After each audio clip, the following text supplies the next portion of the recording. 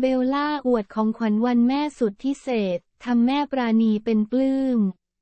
เมื่อวันแม่ที่ผ่านมา วันที่ 12 สิงหาคม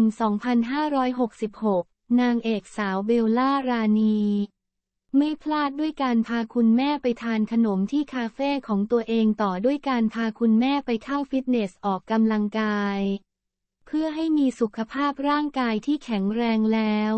เจ้าตัวยังมอบของขวัญสุดพิเศษ และเป็นของขวัญที่เจ้าตัวรู้สึกภูมิใจสุดๆ ให้คุณแม่อีกด้วย ซึ่งก็คือการพาคุณแม่ไปฟังธรรม